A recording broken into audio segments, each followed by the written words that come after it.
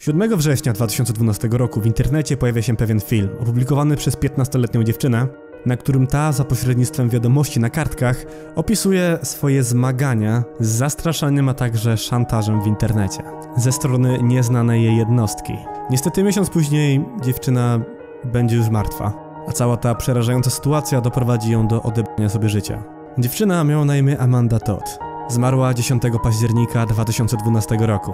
I cała ta sytuacja związana z opublikowaniem tego filmu, a także tragiczną historią dziewczyny, która miała miejsce, wywołała gigantyczne poruszenie. Aczkolwiek prawda jest taka, że za tym wszystkim kryje się coś jeszcze.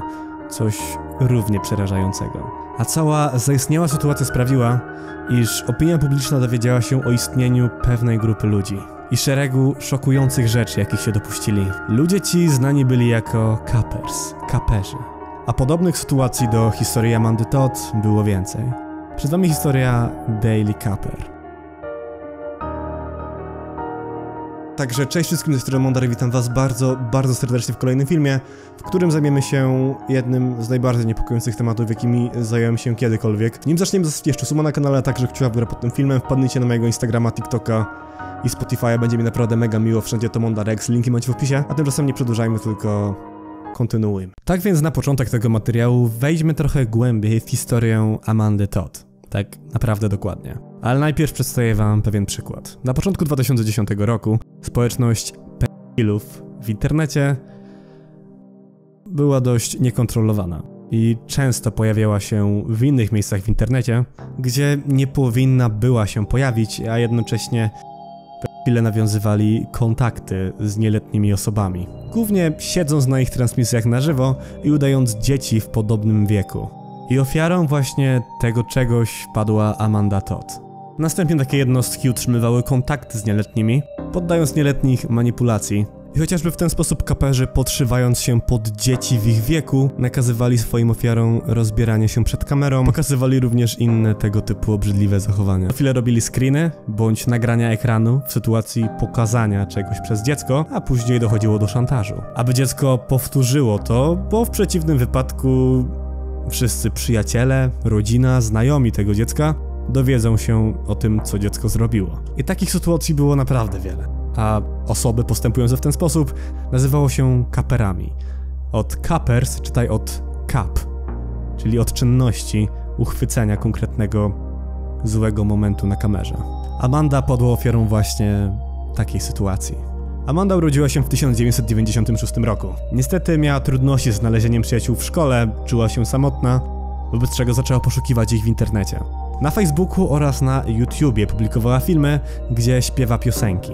Później w prezencie otrzymała kamerę internetową, po czym zaczęła streamować. I właśnie w tamtym czasie Amanda nawiązała kontakt z użytkownikiem znanym jako Tyler Boo, bądź jak niektórzy mówią Danny B. Tyler podawał się za jej rówieśnika i zmanipulował dziewczynę do wysłania mu seksualnych treści przedstawiających ją samą, pod groźbą urwania z nim kontaktu. Amanda uległa i zrobiła to.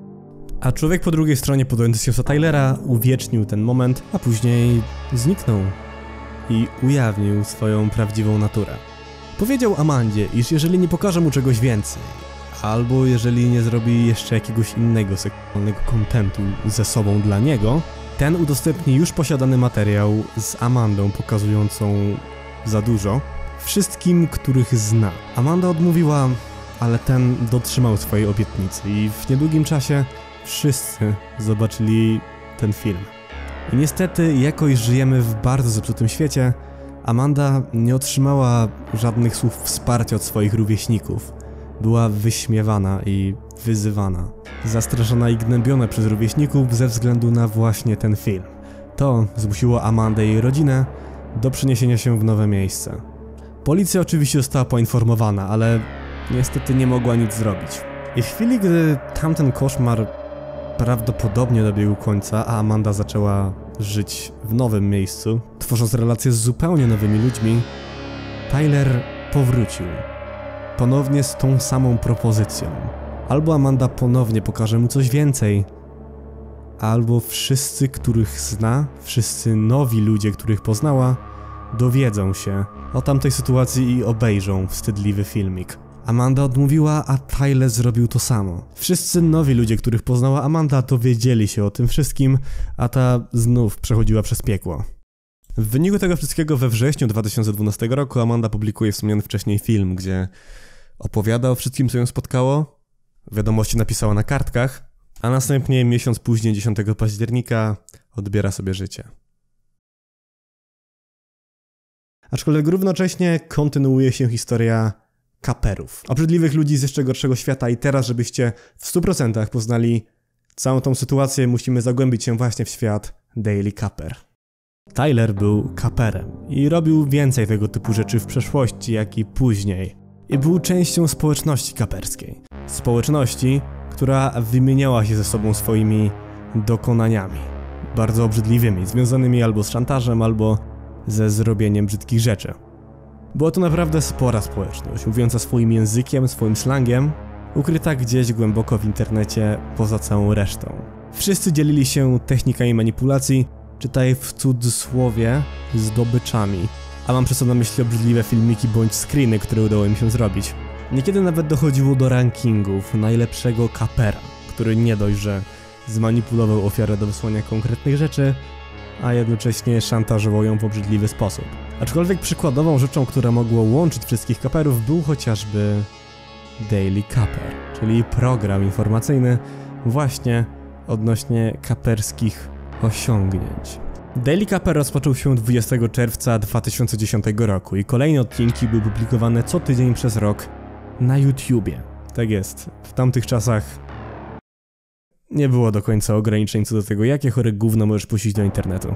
Był to naprawdę obrzydliwy format, gdzie kaperzy chwalą się porytymi rzeczami, jakie zrobili na przestrzeni tego tygodnia.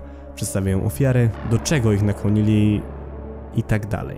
A jeżeli przyglądając się oprawie graficznej tego chorego programu widzicie coś znajomego, to nic dziwnego. Ponieważ cała oprawa graficzna, studio telewizyjne, pomysł, a jednocześnie nawet prowadząca w cudzysłowie, zostały chamsko ukradzione z pewnego programu dla dzieci na HBO o nazwie Crashbox, który zawierał bardzo podobny, a wręcz identyczny segment znany jako Distraction News i przedstawiał się w ten sposób a któryś z zakutych kaperów po prostu ukradł to wszystko i przerobił na swój własny obrzydliwy sposób, a podobno zostało to wzięte z jakiegoś filmiku, które wysłał dziecko właśnie jednemu z kaperów.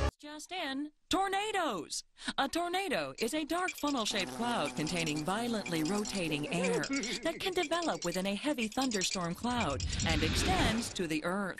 In fact, that's what its name means. Tornado, from the Spanish word tronado, meaning thunderstorm. Although tornadoes form all over the world, the United States gets hit more frequently and stronger. The... Przykładowy odcinek tego pożytego programu wyglądał chociażby w ten sposób.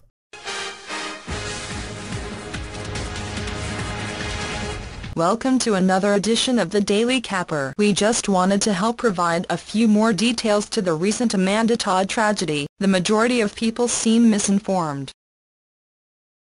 Opis tego kanału brzmiał następująco. Świat cuppingu to świat, który jest nieznany i tajemniczy dla niektórych, ale naprawdę nie ma nic tajemniczego odnośnie tego. A Daily Capper jest tutaj, aby tydzień w tydzień informować o tym, co dzieje się w świecie cuppingu.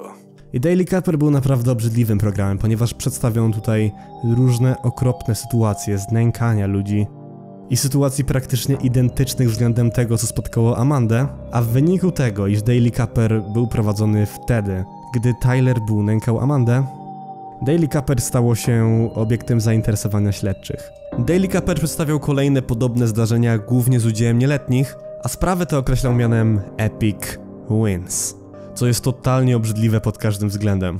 Tym bardziej, że kolejne odcinki pojawiały się co tydzień. Tydzień w tydzień przedstawiane były kolejne niepokojące historie z udziałem coraz młodszych osób. 15 lat, 13 lat, 12 lat. I były to historie bardzo podobne do tego, co spotkało Amandę Todd. A wszystko to zmierzało nawet do historii ośmioletniej dziewczynki. A żeby zakończyć już ten okropny temat i nie wchodzić w to głębiej, pod koniec każdego roku miejsce miały nagrody w świecie cuppingu. Było ono organizowane na oddzielnym kanale na YouTube założonym w 2009 roku i chociażby mogłeś tam otrzymać nagrodę blackmailera roku, czytaj szantażysty roku. I wszystko to szło w jeszcze gorszą stronę, w którą już naprawdę nie chce się zagłębiać. W grudniu 2010 roku pojawił się pewien odcinek Daily Caper, w którym to wspomniana została Amanda, czyli następny cel tej porytej społeczności. Później temat wracał jak bumerang, w chwili kiedy w jednym z odcinków poinformowali o jej śmierci. Tylko w tym momencie warto zwrócić uwagę na fakt, iż odcinek, w którym po raz pierwszy wspomniano o Amandzie jako kolejnym celu tej społeczności, zbiegł się w czasie z momentem, kiedy Amanda zaczęła być szantażowana. I to nie mógł być przypadek. Oczywiście w tamtym czasie cała sprawa trafiła na policję. Aczkolwiek, tak jak wspomniałem wcześniej, ci mieli spore trudności ze znalezieniem sprawcy. Wobec tego do sprawy zaangażowała się jeszcze jedna strona. Anonymous. Tak jest, ci pojawili się zupełnie znikąd, podając dokładne dane rzekomego sprawcy samobójstwa Amandy. Ujawniono wówczas, iż sprawcą tego wszystkiego był użytkownik kryjący się pod nickiem Cody1206. Czytaj, był on zwycięzcą nagrody Blackmailera roku 2010. Anonymous przedstawił jego sylwetkę trochę głębiej, przedstawiając jedną z jego ofiar, a także pewien incydent, w który był zamieszany, przez co miał sprawę o napaść seksualną. Knowledge is free. We are anonymous. We are legion. We do not forget. We do not forgive. Expect us. We are watching you. To the students and adults who bullied the student, Amanda Todd, we have a message for you. We know who you are. We know what you did. We are. Kolejny totalny oblech związany z tą społecznością, totalnych oblechów. Podano wówczas nawet jego pełne imię i nazwisko. Domniemany złoczyńca miał zostać zdemaskowany. Tylko, że pojawił się tutaj pewien mały problem. Anonymous chybił, a dokładniej pomylił się. W sprawie wystąpiło wiele nieścisłości w kwestii adresów zamieszkania czy nawet dat urodzin, a okazało się nawet, że Cody nie był w rzeczywistości Tylerem Boo. Aczkolwiek w tej sytuacji niedługo później udało się uchwycić tego prawdziwego oprawca Amandy Todd, a był nim Holender, 44-letni Aiden Coben. Kolejny internetowy oblech, który posiadał ponad 100 kont na Facebooku, w tym jedno o nazwie Tyler Boo. Gościu miał ze sobą całą listę ofiar, które traktował podobnie jak Amandę. Amanda była jedną z nich. Dręczył ją przez ponad 3 lata, prowadząc do jej śmierci. I chociaż Cody nie był bezpośrednio powiązany ze sprawą Amandy, to i tak trzeba mieć na uwadze, że był bardzo podobnym oblechem do Aidena. Był bardzo aktywny w kaperskiej społeczności, a sam fakt, że oni dali mu tytuł e, szantażysty roku 2010 sugeruje tylko tyle, że był naprawdę okropnym człowiekiem.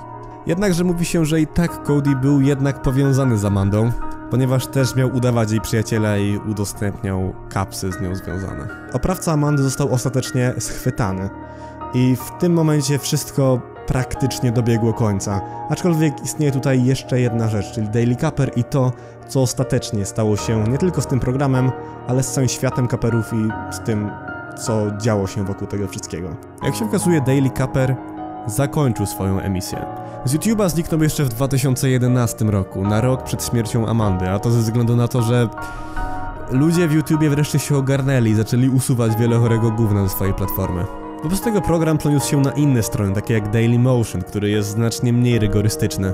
Aczkolwiek to wszystko nie zmienia faktu, że w 2011 roku Daily Caper po prostu zniknął. Przestały się pojawiać kolejne odcinki, a to chore gówno przestało publikować kolejne rzeczy. W podobnym czasie zdjęta została nawet strona dailycaper.com, która była powiązana oczywiście z Daily Caperem jako programem w internecie i ze źródeł, takich jak chociażby film Nika Crowley'ego, na którym się trochę wzorowałem, dowiadujemy się chociażby, iż strona ta zawierała swoje własne treści, w tym miesięcznik, w którym w którym nawet nie chcę wiedzieć co było. Istniały też oddzielne kanały z tym związane, takie jak Caper Cartoons, który był zbiorem animacji z tego świata. Nie chcę tego nawet oglądać. Na całe szczęście cały ten syf wtedy dobiegł końca.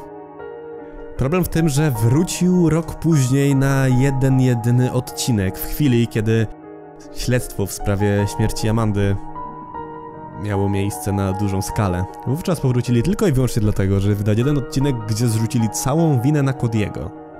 A ponadto stwierdzili, że to nie oni poszukiwali kontaktu z Amandą, tylko Amanda próbowała dobić się do nich, a za przykład dali chociażby maila, który Amanda im wysłała. W każdym razie w tym momencie ktoś stojący z Daily Capper zaczął przedstawiać się jako ten dobry w tym wszystkim, kłamiąc, bo nie był absolutnie tym dobrym. W tym momencie Daily Capper dobiegł końca, a to co jest najbardziej zastanawiające w tym wszystkim to fakt, że gościa, który stał za tym wszystkim, bądź grupy ludzi, ktokolwiek to był, nigdy nie udało się zidentyfikować i chyba nie doprowadzono ich do odpowiedzialności za to, co zrobili. Jest to jeden z najbardziej okropnych tematów, jakie kiedykolwiek zobaczyłem w internecie i zdecydowanie jest to po prostu straszne. Ostatecznie świat kaperów zniknął. I to tak zupełnie z tego mainstreamowego internetu. I być może nie zniknął zupełnie, być może schował się gdzieś w mroczniejszych zakątkach internetu, które nie są aż tak dostępne dla nas wszystkich, ale jest to jedno z najbardziej przerażających miejsc w internecie, społeczności w internecie. I rzeczy, o jakich kiedykolwiek mówiłem i naprawdę nie chcę do tego wracać, a kaperzy jesteście obrzydliwi. No i w dzisiejszym filmie to byłoby już na tyle wielkie dzięki za oglądanie. Wy napiszcie koniecznie w komentarzach, co o tym wszystkim sądzicie, o tym, co powiedziałem w tym filmie i tak dalej.